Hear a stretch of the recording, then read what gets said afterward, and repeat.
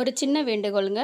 இந்த வீடியோவை நீங்கள் பார்த்துட்ருக்குறவங்க நிறைய பேர் வந்து கனவு பலன்கள் வந்து கேட்டு நீங்கள் வந்து கமெண்ட் பாக்ஸில் தெரியப்படுத்துகிறீங்க ரொம்ப நன்றி. அதுக்கு முன்ன பின்ன டைம் ஆகுதுன்னு சொல்லிட்டு வருத்தப்பட வேணாம். எல்லாருக்குமே நான் பதில் அளிக்கணும்.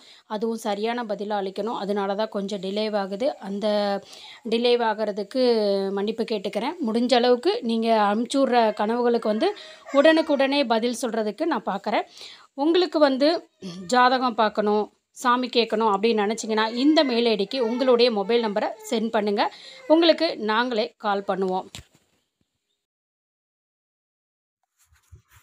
குலதெய்வ கோவிலிற்கு எப்போது செல்ல வேண்டும்? அதாவது குலதெய்வ கோவிலுக்கு போகிறதுக்கு நேரம் காலம் அப்படிங்கிறது கிடையவே கிடையாதுங்க.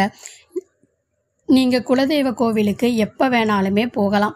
உங்கள் மனசு சந்தோஷமாக இருந்தாலும் சரி அல்லது வருத்தத்தில் இருந்தாலும் சரி நீங்கள் குலதெய்வ கோயிலுக்கு போகிறது ரொம்ப நல்லதுங்க. அதுவே நீங்கள் வந்து வருத்தத்தில் இருக்கீங்க ஒரு குழப்பத்தில் இருக்கீங்க இல்லை ஒரு கவலையில் இருக்கீங்க அப்படின்னா உங்களுடைய குலதெய்வ கோயிலுக்கு போய் அமைதியாக அந்த இடத்துல உட்காந்துருங்க உட்காந்து மனதார உருகி வேண்டிக்கோங்க. நீங்கள் அந்த கோவிலை விட்டு வெளியில் வரது போதே உங்களுக்கு அந்த ஒரு குழப்பத்துக்கான ஒரு தெளிவு உங்களுக்கு கிடைக்க ஆரம்பிச்சிருங்க. அது மட்டும் இல்லாமல் ரொம்ப தூரத்தில் இருக்குங்க. என்னால் வந்து எப்படி போக முடியும்? ஆனால் என் வாழ்க்கையில் நான் இப்போ ரொம்ப குழப்பத்தில் இருக்கிறேனே அப்படின்னு நீங்கள் வருத்தப்பட்டீங்க அப்படின்னா கவலையே பட வேண்டாங்க.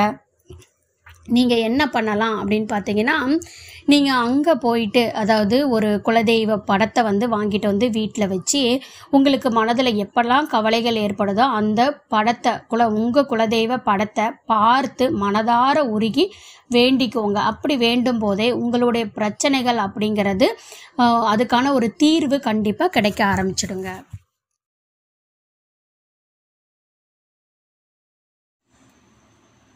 தேங்க்ஸ் ஃபார் வாட்சிங் லைக் பண்ணுங்கள் கமெண்ட் பண்ணுங்கள் சப்ஸ்கிரைப்